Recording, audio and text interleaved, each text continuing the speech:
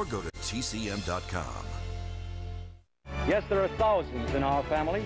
Their work is an integral part of what will be the best picture of the year and of every picture of every year. The award that is about to be given then is a tribute to each and every one of them.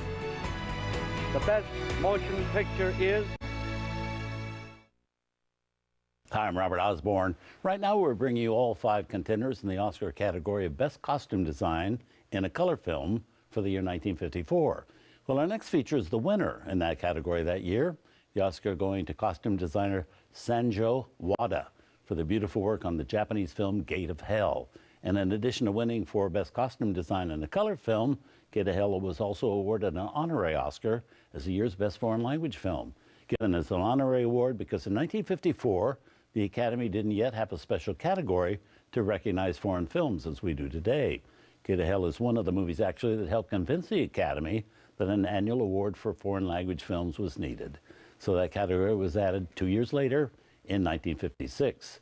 As for Gate of Hell, it tells the story of love and passion in the 12th century, and it's filled with rich, gorgeous images that help make it the first Japanese film in color to be widely shown in the West. This less than nine years after the U.S. was fighting Japan in World War II. It's film of truly epic dimensions, despite it being only 89 minutes long. Film's leading lady is Machiko Kyo, who you may recognize from the classic Akira Kurosawa film Rashomon.